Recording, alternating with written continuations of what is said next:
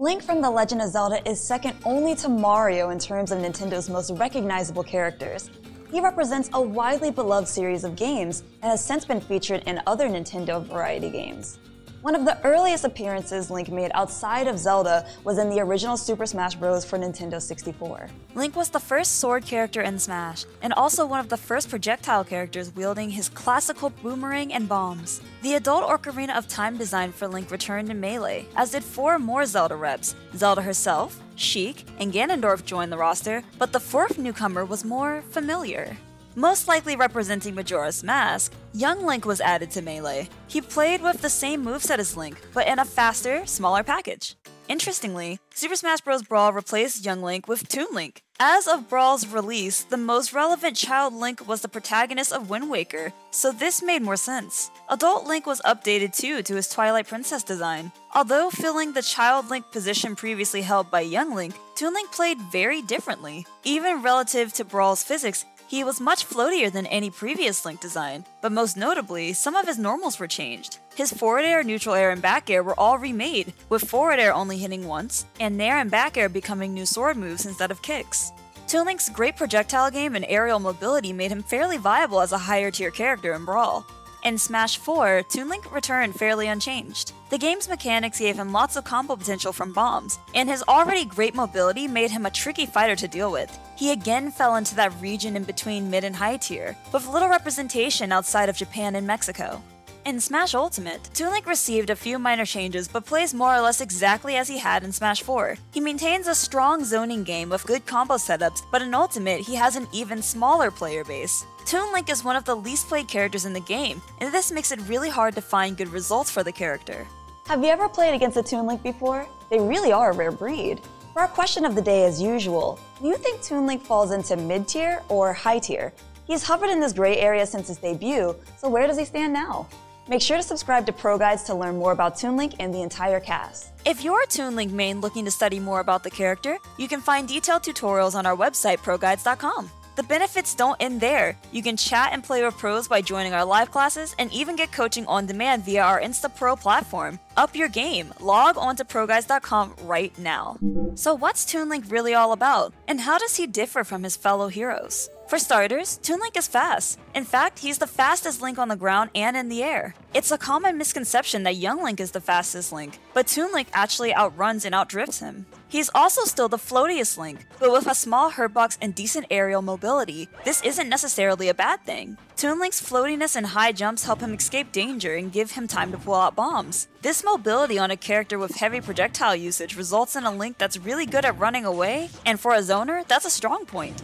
Toon Link is very slippery and can be harder to catch than those pigs on Windfall Island. He's very good at baiting opponents into overcommitting and has great tools to capitalize. Like Young Link, his bombs are excellent for starting combos at many percents. This is most dangerous at kill percent, where he can confirm into forward air or even an up B to close out stocks. He can also combo out of a boomerang if he doesn't have a bomb in hand, and will usually have the stage covered with projectiles. Toon Link is just as capable as Young Link of zoning out opponents with a barrage of arrows, boomerangs, and bombs, and this already gives him a strong matchup against bigger characters that struggle to break through his obstacle course. He isn't limited to just projectiles, though. For such a small version of the Master Sword, Toon Link's sword attacks actually have a surprisingly good range. Their frame data is decent too. Back air and nair both come out on frame 6, helping him escape pressure and punish out of shield. His out of shield game is fairly solid in general thanks to his frame 6 up special and frame 11 up smash. Either of these options can be used to close out stocks at appropriate percents. As for his other aerials, Toon Link's forward air and up air are slower, but each compensates in its own way. Fair is quite strong, acting as his go-to confirm from bombs at kill percents as well as securing early kills via edge guards. It's also minus 6 on shield, which is very safe for a long range option. Up air is also very strong, but more notably, it stays out forever with a whopping 30 total active frames. Coupled with Toon Link's floatiness, this up air can be used to apply lots of pressure from beneath, even frame trapping into itself. His down air is, well, it has a wind box. That's pretty cool, right? Um, Toon Link's ground game is quite solid as well. His down tilt is ridiculously safe and creates potential tech chase opportunities. Up tilt is an outstanding anti-air. It combos into itself at lower percents, leaving big bodies and fast fallers helpless. At higher percents, it can combo into aerials, sometimes kill confirming into up air. Also, his dash attack is surprisingly fast at frame 7, providing a decent grounded whiff punish options that the other links don't quite have. But subscribing to Pro Guides is even faster at frame 1. Toon Link's strengths culminate in a pesky zoner with consistent setups who can run away and evade his opponents with the best. He isn't without weakness though. As a floaty character who runs away a lot, Toon Link will often find himself in the air or in the corner, where he takes a positional disadvantage. He'll have trouble landing against good jugglers as his own down air is a hard commitment, and he can be pressured in the corner if he doesn't have a bomb in hand. Toon Link can also struggle to secure the kill. Not only do his kill confirms all lose to shield, but his gameplay becomes more telegraphed when he's holding a bomb. His back throw does have decent kill power, but his grab is on the slow side as a tether, so it won't be effective as a defensive option near the side blast zone, where back throws are the best. Unlike other common characters, Toon Link's game plan is very well known, as it's similar to Young Link or even Link's. Speaking of his fellow Links, this may also be a factor in Toon Link's lack of representation. Young Link has been absent since Melee, making him initially more appealing, and his fast paced combo heavy gameplay still makes him a pretty popular pick. Regular Link also received a new design as well as an interesting new mechanic in his remote bomb, but Toon Link is still just Toon Link. It's easy to see why he's been overshadowed.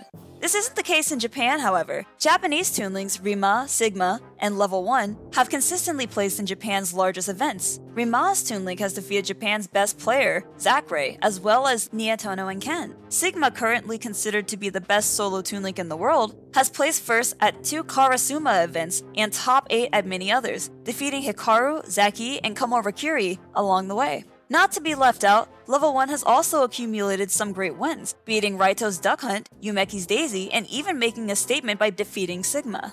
These wins are not only impressive to show Toon Link's viability as a tournament character, but also his matchup capability. Most prominently, wins over Zackray's Wolf and Ken's Sonic show that he can compete with some very strong characters in the current meta. This is evident outside of Japan as well. At the Big House 9, Wishes brought out his Toon Link seemingly at random and was able to defeat Puppeh's Pokemon trainer, another top tier character. North America's best Toon Link main, Xcall, was also able to defeat Jen's Palutena in winner's side of DreamHack Montreal 2019. These few but strong results, along with obvious strength, have established Toon Link's reputation as an underrated character with lots of potential. World number 1 MKLeo places him in high tier on his most recent tier list, as does Samsora, albeit in his low high tier category. It's hard to argue with the top two players in the world, but Tweek, Mars, and Esam all place Toon Link in mid tier, reflecting on his uncertain likelihood of doing well in tournaments. Interestingly, even Zackray places Toon Link in his fourth highest tier. His tiers are categorized by letters, so it's hard to definitively call this mid tier, but it's certainly in the middle of the list. Toon Link has a lot of potential, and is a character you never want to sleep on. Still, he lacks more outlandish broken qualities that even most high tiers in Ultimate possess, and his results are too limited to judge much from at the moment. We're calling Toon Link a mid tier, for now, but you should definitely keep your eye on the hero of Winds. How do you feel about Toon Link? Drop a comment below and subscribe to the channel to catch the next tier battle and more.